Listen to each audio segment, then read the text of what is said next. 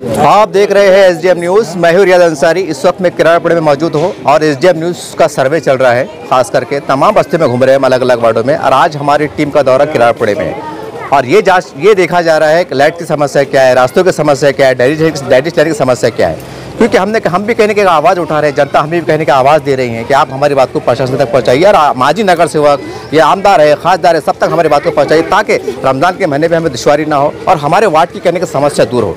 लगातार हमारा अभियान चल रहा है, हम डोर टू डोर घूम रहे हैं और आप देख सकते हैं, जैसे हमें जानकारी मिली कि यहाँ पर माजी नगर सेवक हाजी साहब साहब के ज़रिए से एक बहुत बड़ा काम की शुरुआत हो चुकी है। वैसे इनके काम हम देखते हैं लगातार कुछ ना कुछ चलते ही रहते हैं। लेकिन ये बहुत बड़ा काम हम समझते हैं। बड़ी लेन की मुतालबा किया जा रहा था जनता की ओर से कि बड़ी अगर लाइन डाल देते हैं तो ड्रेनेज लेन की समस्या नहीं होगी। चलिए कुछ यहाँ की जनता से पूछते हैं ये हाई सबके वैसे ही काम हुआ पूरा टोटल और चालू है अभी। अच्छा ये लाइन से पहले नहीं डालने से पहले आपको तकलीफ़ क्या कहती पहले हम दालिज नहीं है इसके भी ये पहली बार डाली पहली। बार डाली जी। पहली बार डाली जा रही है और हाई सबके वैसे ही काम हो रहा है ये। तो बहुत तकलीफ़ थी अभी हमको तो। घरों में पानी उजार भाई साहब का शुक्रिया अदा करते हैं हम। घरों में हाजी साहब है तो थोड़ा इतना इतना काम हो रहा नहीं तो बाकी सब खेल खत्म है यहाँ पर। मेरा नाम शेख जुनेद है। हम पिछले पिछले इलेक्शन के पहले से ये प्रॉब्लम है। हाजी साहब आने से पहले जब अफसर खान थे जब से ये प्रॉब्लम थी। लेकिन हाजी साहब ने उनके कार्यकाल में दो तीन बार ये लाइन वो करे। बोले तो उसको ऑपरेटिंग हुई उसकी। अच्छा। दो तीन बार ऑपरेटिंग करे फिर भी मसला नहीं हुआ तो अभी फिर से समझो आपके सामने ही काम चालू है। अभी ये फिर से नई लाइन डालेंगे तो इंशाल्लाह ये प्रॉब्लम मिटिएगा हमेशा के वास्ते सर हम देखते हैं किरापड़े के अंदर अक्सर ड्रेनेज लेन की समस्या और लाइट की समस्या होती है। तो आपको क्या लगता है कि मतलब भाई साहब ने जब पाँच साल गुजरे तो वाकई पर ईमानदारी से काम किए ना आप जानता है? नहीं तो पहले जो मसला था वो छोटी लाइन डाली हुई थी। अच्छा। तो इसकी वजह से जो तो बार बार चौकअप हो जाती थी ये हो जाती थी। अब हाजी साहब के कहने के हिसाब से आप देख सकते हैं कि अब लाइन भी ज़रा बड़ी डाली हुई है। और वो हिसाब से इंशाल्लाह अब आगे मसलों को मसला नहीं होगा। मैं ये सवाल आपको इसलिए किया था क्योंकि आरोप लगते हैं कि एम के नगर सेवकों ने काम नहीं किया। ऐसे आरोप लगते हैं। करके सवाल मैंने किया था कि मतलब ये नहीं कि आपके नगर सेवक जो इमाम से ताल्लुक रखते हैं उन्होंने काम किया आप ये बोलना चाह रहे हैं। नहीं तो अब आने वाले इलेक्शन में सब समझ में आ जाएँगे किसने काम किया किसने नहीं किया। वो अगला पिछले पाँच साल में इन्होंने काम किया है हाँ तो अब वो तो दिख के आ रहा हम तो बता रहे हैं आपको। अगर नहीं भी दिख के आया तो ये इलेक्शन में आपको हाजी साहब की जीत की वजह समझ में आ जाएँगे क्या है क्या नहीं। जैसा हमने आपको बताया कि हमारा एसडीएम न्यूज़ का एक अभियान चल रहा है। हम जनता से भी पूछ रहे हैं और वहाँ के जो माजी नगर से चाहे कोई भी पार्टी से उनसे भी हम मिल रहे हैं। और जनता के बीच रूबरू खड़े के बात कर रहे हैं। रोक ठोक बात कर रहे हैं। खुल के पूछ रहे हैं, काम हुआ है, नहीं हुआ है, आप नाराज़ है, खुश है, सारी बातें खुल के पूछ रहे हैं। चलिए, जनता की बात तो आपको समझ में आ गई चल, इनसे पूछ लेते हैं। सर, फिर भी एक सवाल तो उठता है कि आखिर बड़ी लाइन डालने में इतनी टाइम क्यों लगा आपको? पता है 2019 में कोविड महामारी चालू हो हुई 2020 से जो था, पूरा प्रशासक लगे हुआ है। आज 2022 चल रहा। ये काम पहले मंजूर हुआ था, पर प्रशासन ने ये पूरे काम हमारे लैप्स कर दिए। जो इससे पहले जो उधर की जो लाइन दिख रही कुआ मस्जिद का, वो भी आज अपन ने मंजूर करा के लिए, वो भी बड़ी साढ़े चार सौ की लाइन और उसके ऊपर कांक्रीटिंग वो रमज़ान के बाद चालू होगा इंशाल्लाह। और ये भी अभी इसलिए चालू करा है अर्जेंट में, क्योंकि इनके घरों में बहुत पानी था और कहीं ना कहीं लाइन पूरी फुल भरी हुई थी और पूरी डैमेज होने की वजह से पूरा नीचे ही हो गया। ये खासदार इम्तियाज़ जलील साहब का शुक्रिया अदा करता मैं कि उन्होंने कहीं ना कहीं हमारे साथ में रह के और आगे ऊपर प्रशासन के ऊपर प्रेशर डाल के ये काम करा के लिए।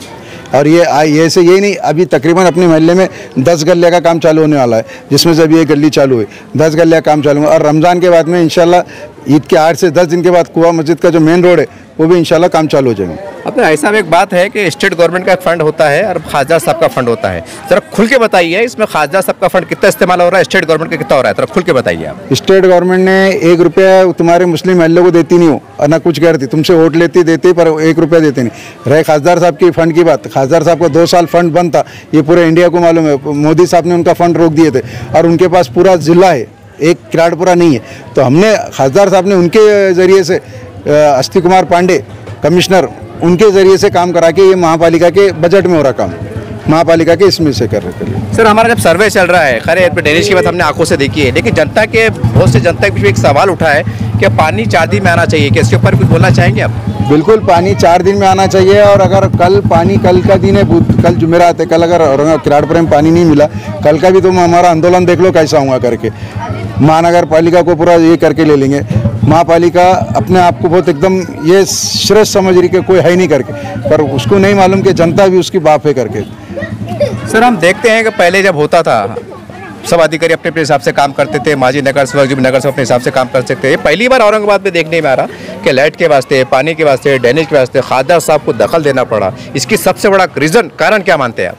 सबसे बड़ा रीज़न ये है कि प्रशासक है कारपोरेटर एक भी नहीं है और पूरे जो ऑफिसर बैठे हुए कोई भी इसमें तो एक, कोई भी एक लॉबी से जुड़े हुए हो, वो नहीं, उनकी मानसिकता ये नहीं है कि तुम्हारे दलित महल्ले और मुस्लिम महल्ले में काम हो करके ये वाई एक शख्स है, खासदार इम्तियाज़ जलील साहब तो वो सबके लिए लड़ रहे हैं और सबके लिए ये करा रहे हैं। और अल्लाह ने उनके जिसमें शिफा भी दिया और काम भी हो रहे हैं उनके ज़रिए बात करने से।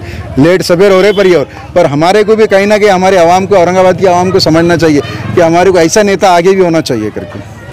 सर आप जैसा आपने नेता होना बोले लेकिन उन पर तो आरोप भी लग रहे हैं बहुत से जो विरोधी है तो उनको क्या जवाब देना चाहेंगे आप? ये तो कोई राजकारण नहीं हुआ। विरोधी का, का काम है अब 20 साल की उनकी सत्ता चलेगी औरंगाबाद से वो तो बौखराएँगे ना यार भाई मेरे। वो थोड़ी ऐसा रहने वाला है। 20 साल तक सत्ता में थे वो उनको लग रहा था हम ही जवाब है यहाँ पे। अब यहाँ कोई ना कोई है ना दूसरा। तो वो हिसाब से करे ना। तो उनको अगर हमने कितना भी अच्छा काम करे तो उनको बुरा लगने वाला है वो बतने वाला है ये करने। अरे तुमने क्या करे बीस साल में पच्चीस साल में ये देखो ना तुम। और आज शिव कांग्रेस की सत्ता होने के बाद में भी कांग्रेस का मिनिस्टर लाइट होने के बाद में भी लोड शेडिंग चालू है। तो इससे बुरी बात कौन सी होना चाहिए? मुसलमानों ने कांग्रेस को पता अभी बिठाए हुए सत्ता में। यानी आपका कहने का मतलब सब कहने के जातिवाद हो रहा है। आप ये बोल रहे हैं आरोप लगा रहे हैं। अभी से नहीं कई से कई टाइम से जातिवाद हो रहा है औरंगाबाद के अंदर मप्रे इसमें सारी चीज़ें हो रही। ये कोई कोई बोल रहा नहीं, इसका ये मतलब नहीं। इतने तो बच्चों को समझता, जातिवाद हो रहा कि नहीं हो रहा करके हमारे साथ में। क्या हो रहा करके? हम सारी चीज़ें, लाइट बिल भर रहे, नल टैक्स भर रहे, घर टैक्स भर रहे। हर गवर्नमेंट के काम में ये आ गए। कोविड के बारे में सबसे ज़्यादा अगर किसने अगर सपोर्ट करा हुआ तो किराड़पुरे की आवाम ने सपोर्ट करी, कोविड के बारे में भी, पूरे इसमें लॉकडाउन में भी। और फिर हमारे को ये करा के ले रहे। ये कोई बात नहीं है ऐसा। इस तरह से आपने इस तरह से आपने जो तो माजी नगर सेवक की बात को सुना, जनता की बात को सुना और हमारा कहने की जनता के बीच में नगर सेवक खड़े रहने का, रूबरू करने का एक ही मकसद है कि पूरी जनता देखे, पूरा औरंगाबाद शहर देखे, ज़िला देखे कि वाकई एमएम के कार्यकर्ता बोलिए, इनके माजी नगर सेवक कितना काम कर रहे हैं या नहीं कर रहे हैं। और कुछ बात हम खंगालने की कोशिश कर रहे हैं ताकि लोगों के अंदर अवेयरनेस आए, जागरूकता है कि राजनीति किसे कहते हैं, राजनीति में गंदापन किसे कहते हैं। तो हम समझते हैं कि हमारी जनता भी बहुत अक्लमंद है। कहते हैं ना, अक्लमंद को इशारा काफ़ी होता है। तो आप खासतौर से इस वक्त में राष्ट्रवादी के, कांग्रेस के, शिवसेना के लोगों से विनती करते हैं कि देखिए साहब, राजनीति आप चुनाव में करिएगा। ये हम नहीं करें, जनता की बहुत सी आप ऐसी बातें हम बता नहीं पा रहे हैं आपसे। चुनाव के टाइम आप राजनीति करिएगा, लेकिन विकास के काम के वास्ते आप जिस, आपका जितना योगदान मिल सकता है आप कीजिए। क्योंकि यह समय की ज़रूरत है। आज आज खासकर रमज़ान का महीना चल रहा है तो उम्मीद करते हैं कि रमज़ान को देखते हुए लोड शेडिंग का मसला है ड्रेनेज की समस्या है, पीने की पानी समस्या है, और साफ़ सफ़ाई है। ये तमाम बातों को आप देखिए, क्योंकि सरकार आपकी है और सरकार के नेतृत्व में आयुक्त साहब काम करते हैं। कमिश्नर सरकार से बड़ा नहीं होता है। ये बात आपको रिमांड ये आप नोट कीजिए। ये हम नहीं कह रहे हैं। ये जनता की आवाज़ है, जिसको खाली हम अपनी जबान से बोल रहे हैं। और अगर आप नहीं समझेंगे तो आने वाले चार महीने चुनाव में जनता फिर किस तरह से जवाब देंगी, ये आपको अच्छी तरह समझ में आ गया होगा।